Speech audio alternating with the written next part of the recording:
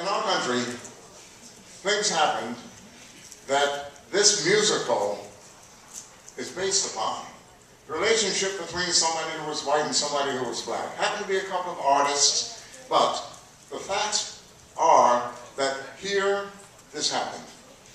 I lived through part of this. Lived through a great deal of it, all of it, as a matter of fact.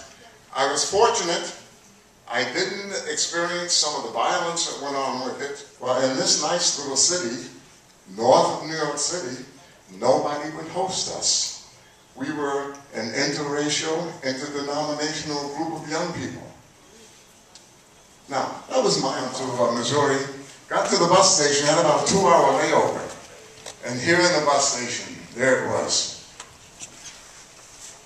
Walked in, and there was a little room as I remember, that probably was about the size of this offstage area over here, a neon sign above it colored.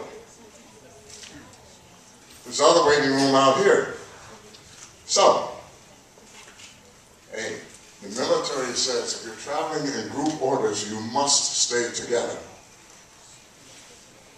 We stayed together, so we sat down. A few minutes later, Porter came by, Reverend Black Hall, he said, you're not supposed to be here. So I said, well, we have to be here. You know, we're all traveling together. We were in uniform. He shrugged his shoulders. A little while later, the station master came down. And he said a couple of words, which since you are young people, I won't use those kind of words in front of Finally, one of my advisors said to me, did I think, did I think that it might be because of race? You know, the thought even with my past experiences had never occurred to me. Married, my family was the first black family in town, my children, so forth, first to go to school and all that type of stuff. I taught there 10 years. One of the things that made me think about leaving, made my wife and I think about leaving, there were two assassinations that happened during this time. One was President Kennedy, the other was Martin Luther King. I still remember very vehemently what I was doing when the announcement came over that President Kennedy had been shot. And, uh, well, the, the, school, I said it was a simple school, one building, K through 12. And the elementary schools used to listen to PBS and some of the kids' programs. And I just assumed when the voice came on that they hadn't uh, filtered out the high schools. Then the superintendent came on and said that president had been shot. was devastating. Entrance to the diner because of the color. I saw black only, white only. I saw all of that stuff. And it really has left an amazing impression with me, even today, and that's many, many years ago. You young people are lucky in the sense that your grandparents and great-grandparents have suffered through all of this and have made the strides to where you are today? Uh, I became a disc jockey at college, as well as, you know, going to school, playing sports and so on. So, Memphis. The main character, Huey Calhoun, is loosely based on a disc jockey out of Memphis called Dewey Phillips. Dewey Phillips was wild and crazy. He actually started out working in a W.T. Grant store, and he would commandeer the microphone and plug records. He was in the record department, so he'd plug the records. And all of a sudden, people started flocking to that store to hear what Dewey was going to play. And it was usually a rhythm and blues group. That's black music.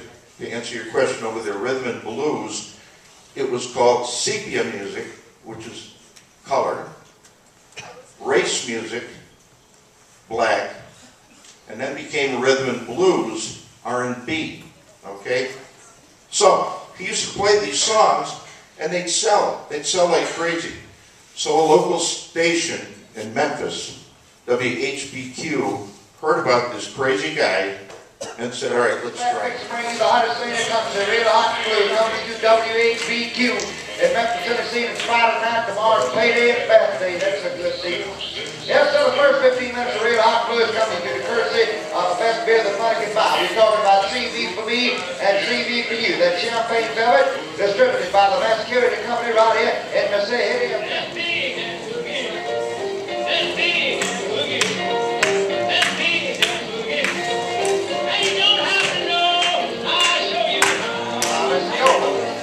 loved black music. Elvis loved black people. That's where he learned all the rhythm and blues songs that he that he sang. He idolized black. Twenty thousand people showed up before the first artist, actually the house band, played one tune before the fire department police shut it down. The publicity from this being shut down was so huge across the nation because on the bill were black artists and white artists. And so all the major newspapers picked up. Covering records was done frequently back then. And as you heard earlier, even into the sixties, people were covering records. So, good or bad, it has positives, but it's got its negatives. But without that exposure, um, many people would never have heard of the original artists that And that, of course, is the big finale.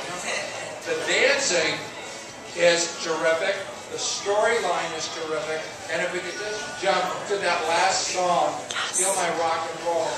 This is the ending number of the show, and it just really pulls everything.